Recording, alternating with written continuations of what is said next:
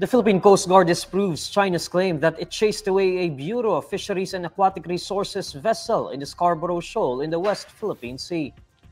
On Thursday, February 22, Beijing claimed its China Coast Guard drove off the BFAR vessel because it supposedly illegally intruded into the waters of the sandbank, which is within the Philippines' exclusive economic zone.